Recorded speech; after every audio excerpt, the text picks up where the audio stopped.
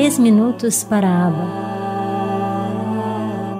Um impulso diário para conhecer, honrar e amar o Pai Celestial. Afugenta o murmurador.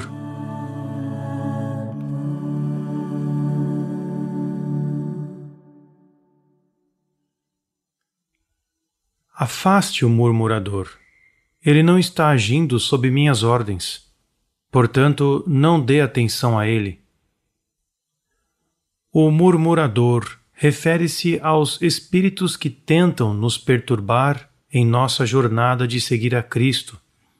Eles influenciam nossos sentimentos e pensamentos, tentando assumir o controle e nos perturbar de várias maneiras. Em um nível humano, também conhecemos os resmungões. São aquelas pessoas que sempre encontram algo para reclamar, que nunca estão felizes e facilmente arruinam nossa alegria.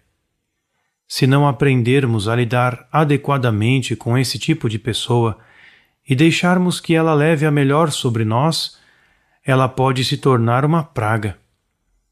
Às vezes até acontece de termos um resmungão em nossa própria psique, que quer arruinar tudo em nossa vida.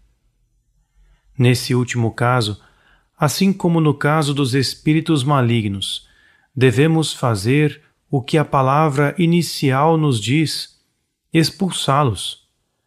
Nosso Pai nos deu o poder de expulsá-los com força em nome de seu Filho, por meio da oração.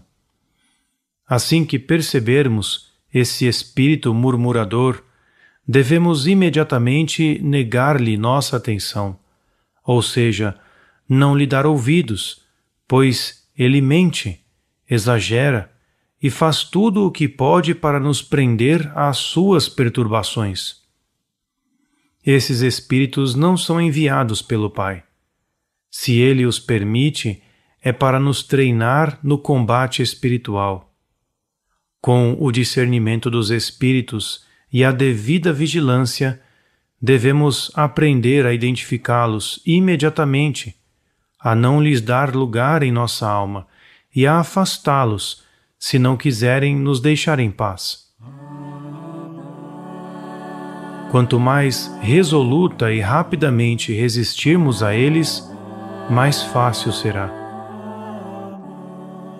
Assim, esses espíritos perturbadores não conseguirão nos roubar a paz que nosso Pai nos dá.